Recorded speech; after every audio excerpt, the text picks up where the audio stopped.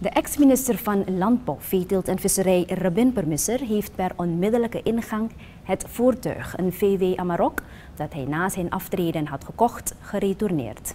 In een schrijven aan de huidige minister zegt Permisser dit te doen naar aanleiding van alle laster en valse beschuldigingen aan zijn adres. De ex-bewindsman heeft het stortingsbewijs van ruim 20.000 SRD, het nummerbewijs en het verzekeringsbewijs van ruim 900 SRD ook gestuurd naar zijn opvolger. Permisser verwacht dat de regering binnen een redelijke termijn de genoemde bedragen terug zal storten op zijn rekening. Deze zaak kwam aan het rollen nadat op social media een bericht rondging als zou Permisser een auto ter waarde van bijkans 40.000 US dollar voor 20.000 SRD hebben gekocht.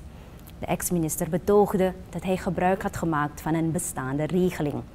Hij heeft nu na alle ophef echter besloten het voertuig te retourneren.